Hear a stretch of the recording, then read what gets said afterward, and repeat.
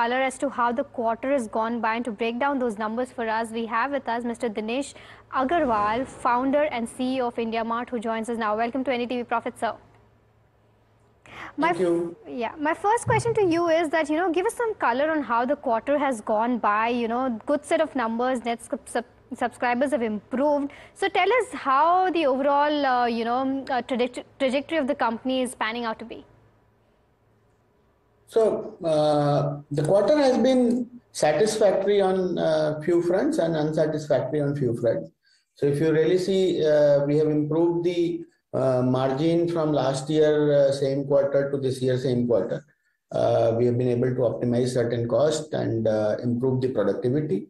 On the standalone basis, the margin is about 30%.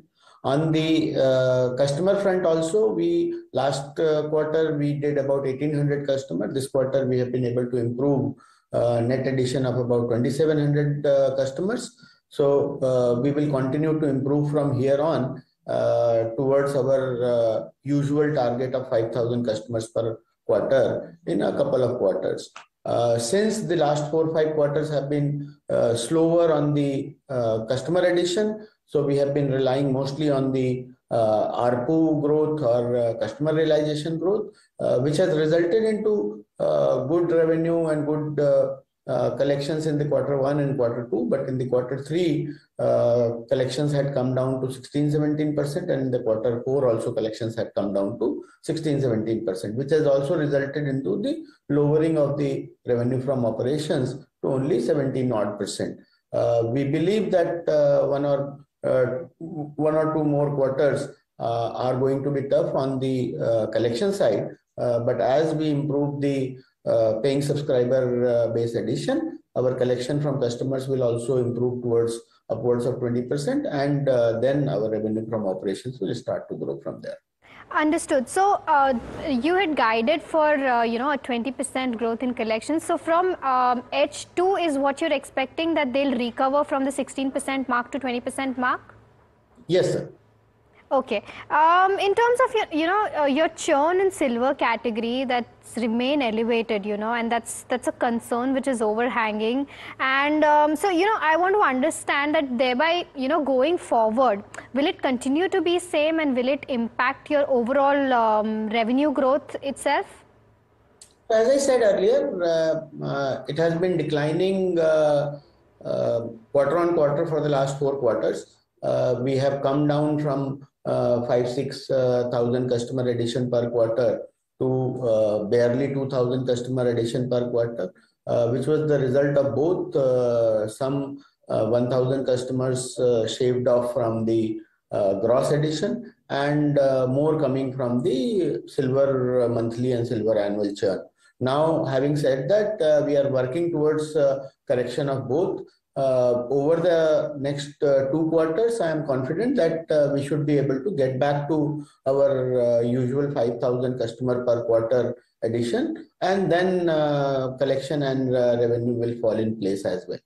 Okay, and can you give us a brief understanding as to what is your mix between, um, you know, platinum, gold, silver, and free suppliers right now? So we give you the in the in investor presentation, if you see, we have started giving a, uh, guidance on the silver and gold total customer base, which is about uh, closer to some gold and platinum total customer base, which is about 50% of the total customer base and contributes about 75% of the uh, revenue. Uh, our top 10% uh, ARPU has also been growing significantly over the last five years or so it has grown from 1 lakh 30,000 rupees to almost 2 lakh 60,000 rupees uh, in the last five years. Uh, on the overall ARPU side, I think uh, uh we are now sitting at uh, last year at about 53,000 rupees. Okay, and uh, can you give us some idea as to you know what is the share of outsourced sales from your total revenue? Outsource sales, uh, uh, we use outsource sales only for the new client acquisition.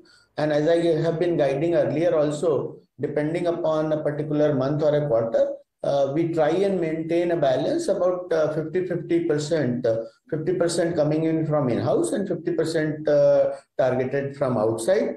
some certain quarters it could be 45 55 and or it could be 55 45. Understood. And Mr. Agarwal, you know, in, in your last con call, you had mentioned that uh, you're making investments to enhance customer experience. Now, I really want to understand, you know, what are the kind of investments that you're making, any progress in that from Q3 and going forward in FY25, you know, if you can give us some color on that.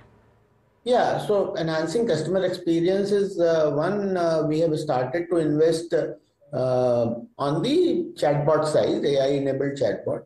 So if you really see some of the margin improvement that has come from the buyer side customer experience improvement, uh, where we have implemented uh, a buyer side chatbot and, and, we have been able to reduce the call volumes uh, for buyer customer service and uh, it has resulted into significant cost savings as well as uh, improved buyer satisfaction that we don't need to disturb them on call and they can leisurely reply over uh, WhatsApp or uh, Messenger uh, at their ease. So we are continuing to work on that side. We will use multiple AI technologies that are coming up uh, in order to improve the matchmaking and in order to improve the relevancy of the matchmaking for the supplier and buyer both.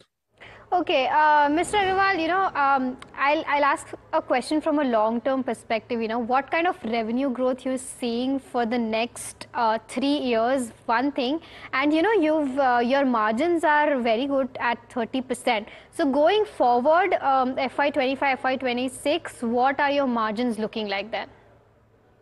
So margin, as I said, uh, we have now uh, we feel very confident that uh, this 30% margin we are going to protect uh, over the next uh, year or so.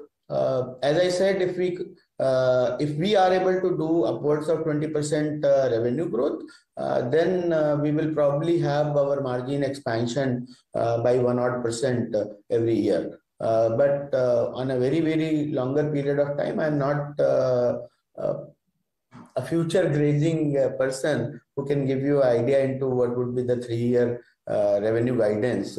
But uh, looking at past performance, I think we have been growing upwards of 20% in revenue. And uh, about uh, you know if you leave out the uh, covid years and the covid recovery years we have been typically having 18% of the mm, expenses growth. So there has been some margin expansion on that side uh, having said that, now that we have reached to 30 odd percent, I think it will be slower from here on, but it will all depend on the uh, what kind of top line growth we can manage.